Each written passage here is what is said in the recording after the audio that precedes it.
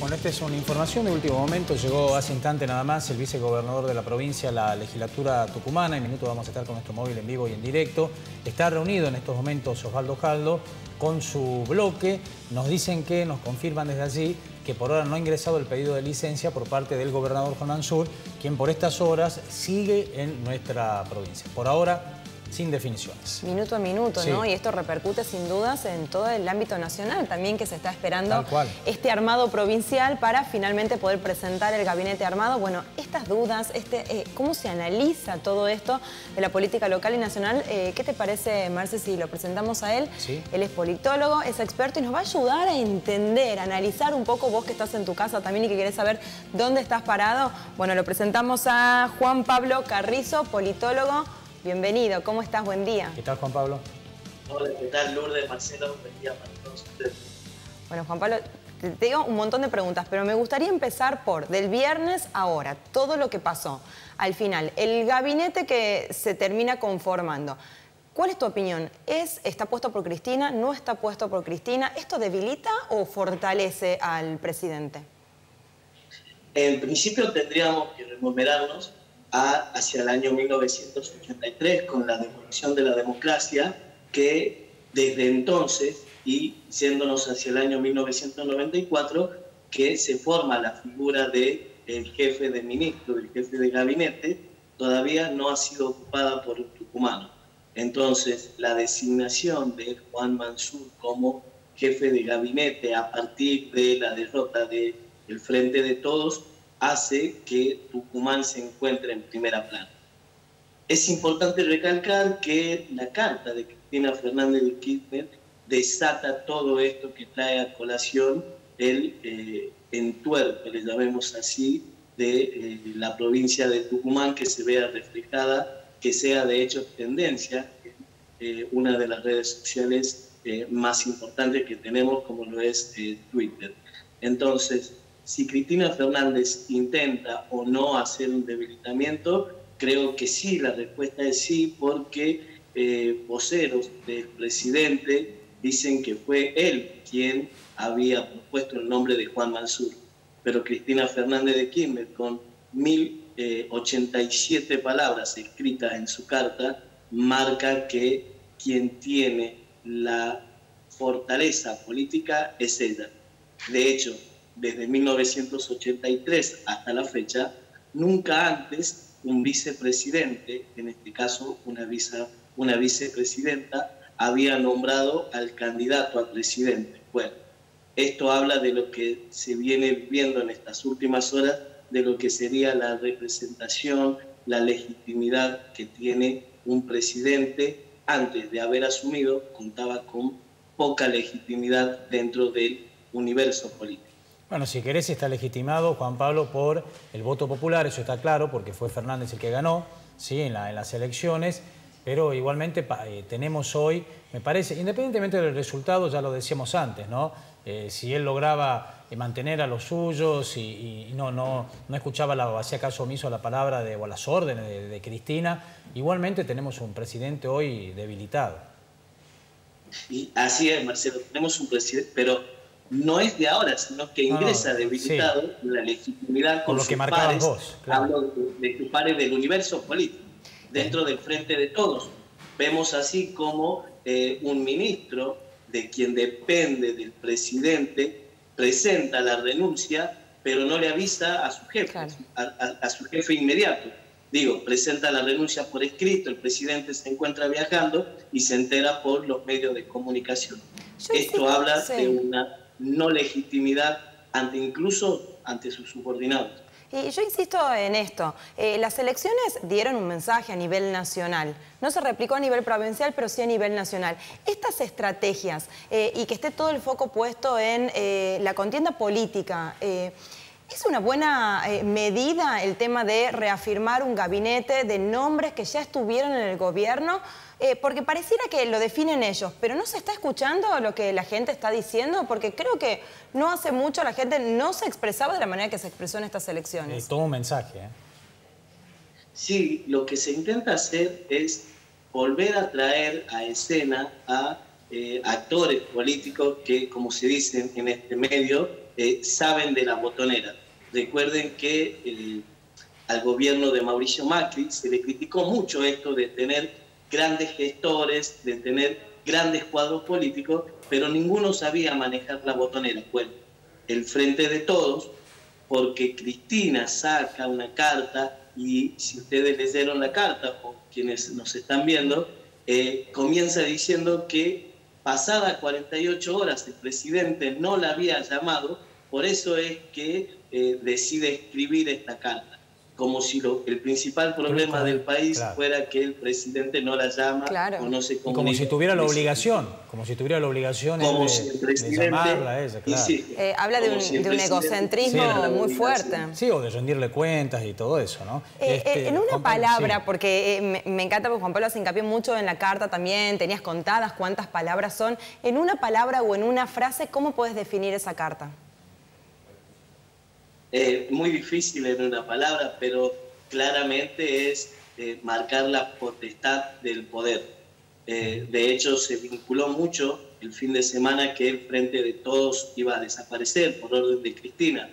Pero si nosotros vemos la calidad y la cantidad de apoyo que tuvo el presidente Fernández, eh, habla de que me parece, y quizás sea prematuro el análisis, pero no le salió de todo bien a Cristina querer marcar la cancha, como se dice futbolísticamente.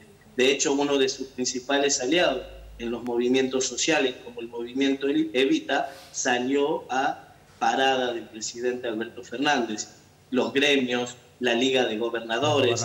claro. Lamentablemente en esta última reunión en La Rioja no se utiliza la palabra apoyo. ¿Por qué? Porque al utilizar la palabra apoyo se estaría hablando de un debilitamiento del presidente. Incluso, claro, incluso, Juan Pablo, discúlpame, eh, la postura que toma el presidente, para muchos débil, ¿no? Pero igualmente, la postura que toma el presidente de no hacer caso inmediatamente a las órdenes de Cristina, la lleva a ella a escribir esta carta, a publicar esta carta. Si no, no, si no, no lo hubiera hecho, no, existía ninguna necesidad. Exactamente.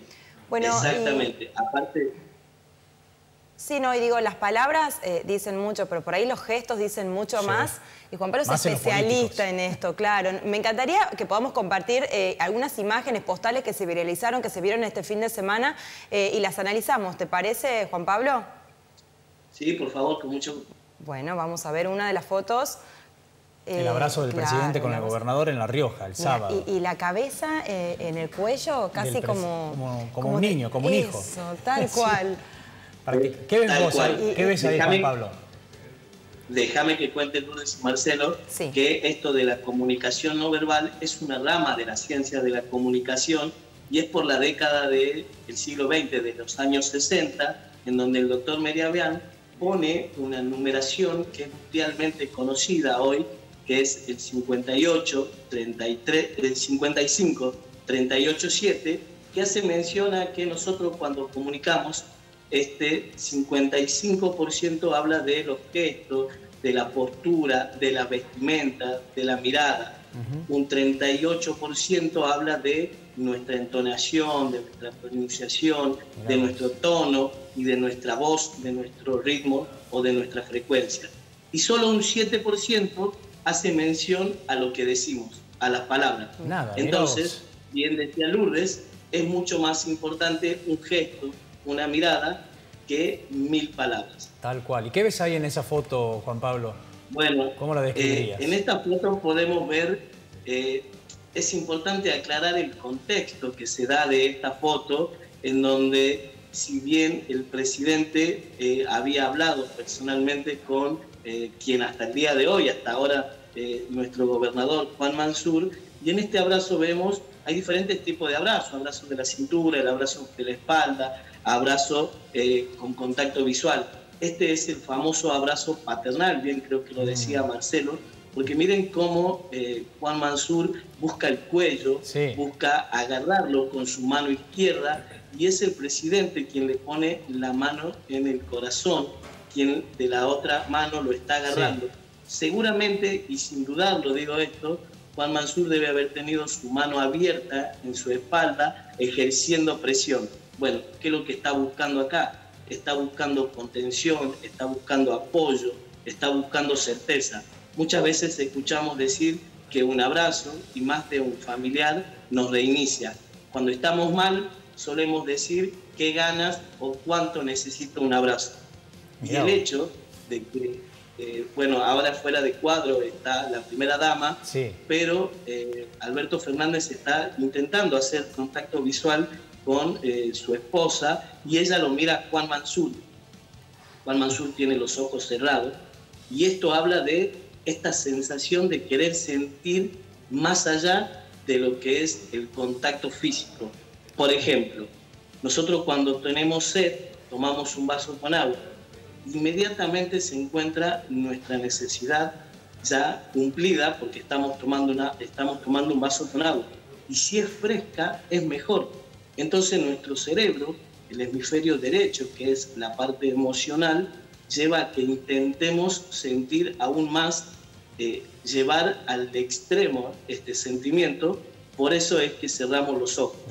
Otro ejemplo sería cuando le damos un beso a algún ser querido, que cerramos los ojos porque eh, nuestro cerebro no está jugando esa cuota de realidad que lamentable o favorablemente no podemos ocultar y en este caso sería ir más allá del sentimiento simple de un contacto físico. ¡Wow! ¿Cuántas ah, cosas en una la foto? Verdad, la verdad. Ahora me parece que se tienen que cuidar mucho los políticos en lo que dicen, no solo en lo que dicen, sino en cómo lo dicen.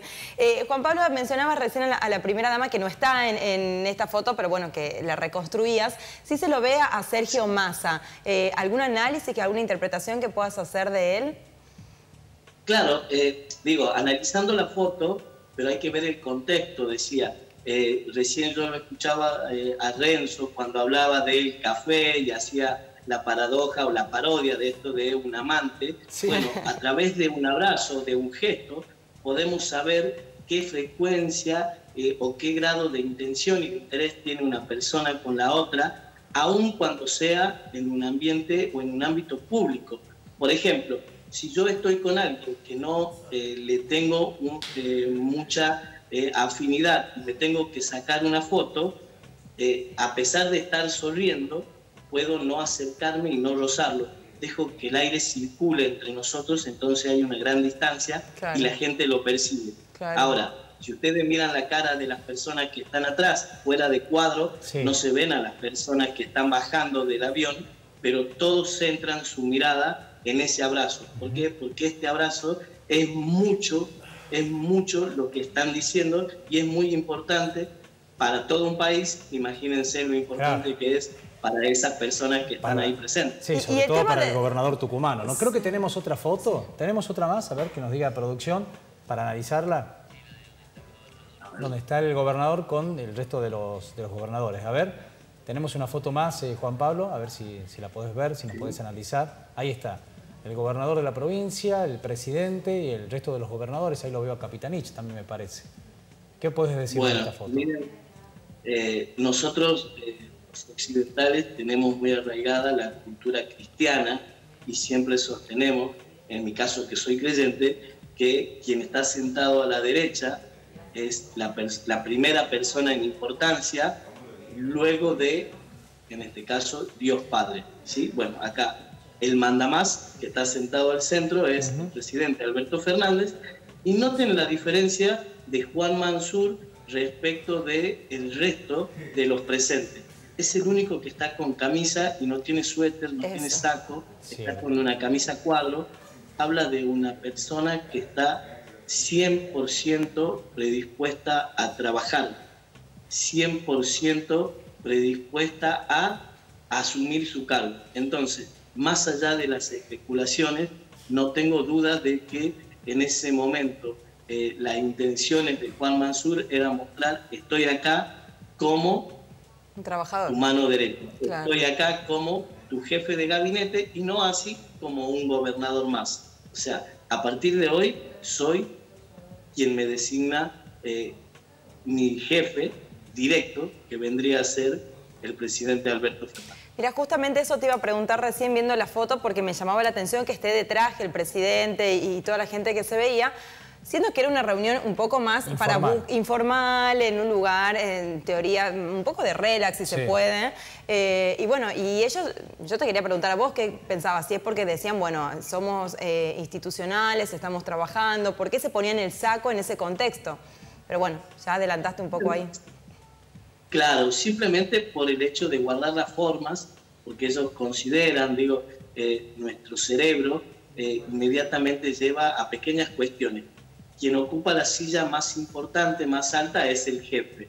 Entonces ellos saben que son jefes en, en, en su territorio, en su provincia, y tienen que guardar la forma. Pero era una reunión mal entendida, una reunión, no sé si informal, pero era una reunión de buscar un compromiso, esto que decía vos Lourdes, para saber el rumbo del país. Estamos haciendo bien, estamos haciendo mal, pero la idea era de ir a una reunión de trabajo. Y- y el lo- único que cumplió con esta característica fue Juan Mansur. ¿Y los políticos tienen en cuenta todo este análisis que estás haciendo vos o realmente es casual? ¿Fue con la camisa porque se bajó del avión así? Porque me acuerdo cuando el PRO empezaba a tomar eh, fuerza a nivel nacional, ellos lo tenían como muy claro, salían casi uniformados, Yo creo que, sin deben la ten- que corbata. algunos, Juan Pablo, deben tener asesores y otros no, ¿no? Depende de cada político. Eh, sí, muchos, muchos políticos hoy en día se van dando cuenta de la importancia de la comunicación, de las redes sociales, de qué decir, y lo importante es cómo decirlo, y cada imagen, bien lo decían ustedes, muestra y demuestra mucho. Hay una frase que utilizamos que es que hay que mostrar, demostrar y convencer. Y eso muchas veces no se vive. Entonces, eh, los políticos sí se van coachando. De hecho, Tucumán tiene eh, una, gran, eh, una gran falencia a la hora de la comunicación de nuestros políticos, pero porque todavía no estamos eh, convertidos nosotros, los ciudadanos a pie, en darnos cuenta cuando realmente hace falta o no el saber comunicar. Eh, a los bueno, políticos eh, le está faltando un, poquito esto, sobre todo eh, acá en nuestra provincia, pero se va viendo el cambio en cada uno de ellos. Se lo pudo ver, de hecho, en, en- en las últimas elecciones, en, en los, eh, en los spots publicitarios de cada uno. Bien. Claro, tal cual. Qué interesante todo, ¿no? Sí, ¿Cuántos, cuántos datos y detalles para tener Y en eso de, cuenta? lo- de los spots tengan en cuenta para la, para la Para la campaña próxima, ahora, sí. porque la verdad que hemos visto eh, paupérrimo, No, se podría definir, desastre, calificar muchas propagandas. Juan Pablo, Eh, gracias. No, por favor, muchas gracias a ustedes, que tengan un buen día. Un abrazo. Gracias, bueno. Imagínate con Juan Pablo, ¿eh? ¿Te? Tenerlo ahí al lado de amigos, fijándose no, todo no el pueden, tiempo. no pueden hacer nada, no pueden Claro. moverse, nada. Cómo vas vestido, te analiza todo, absolutamente todo. Pero es así, ¿no? Es Y como hacer terapia, te diría, Sí, claro. tal cual. Bueno, este, reiteramos entonces que el vice volviendo al, al clima político que se está viviendo en nuestra provincia, el vicegobernador ya se encuentra en la legislatura, Sí, sí. está junto al bloque, ¿sí? que, que responde a él, analizando por supuesto esta situación, pero la, la intención del vicegobernador sigue siendo la misma, la de continuar en nuestra provincia y en caso de que se retire Mansur, asumir como gobernador. Asumir.